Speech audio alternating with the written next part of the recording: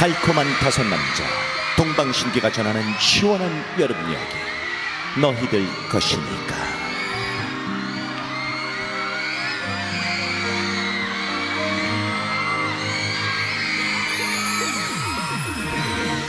구름 넘어 파란 하늘을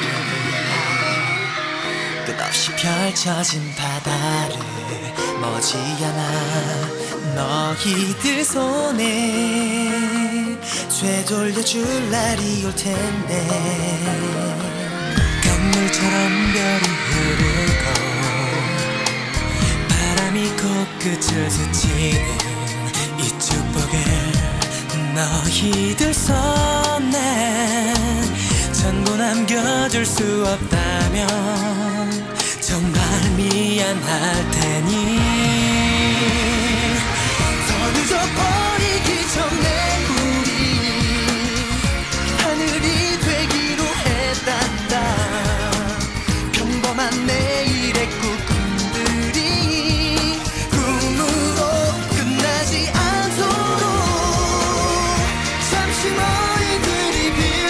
빌려준 이렇게 아름다운 세상을 결국 우리가 줄 수 있는 몇 안 되는 선물.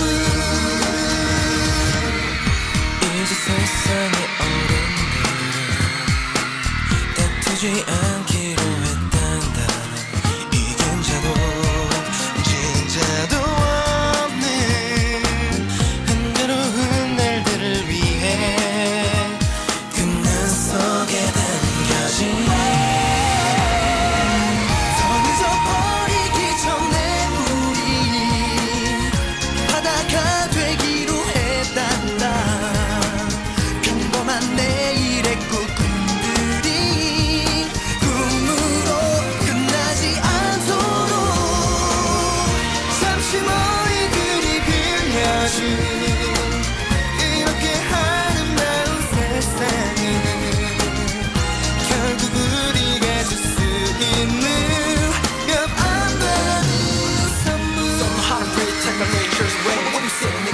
내가 타겟했던 the environment Not too late, 자연사 마주보는 배려에 처음 느낀 느낌 I don't wanna risk the end Don't lie, I think this is the biggest thing of your life Realize, I think this is the biggest gift of your life